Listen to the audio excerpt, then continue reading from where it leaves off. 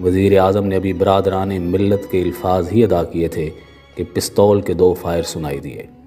अगली सफ़ों में बैठे अफ़गान बशिंदे सैयद अकबर ने पिस्तौल निकाल कर वज़ी अजम पर यके बाद दीगरे दो गोलियाँ चलाईं।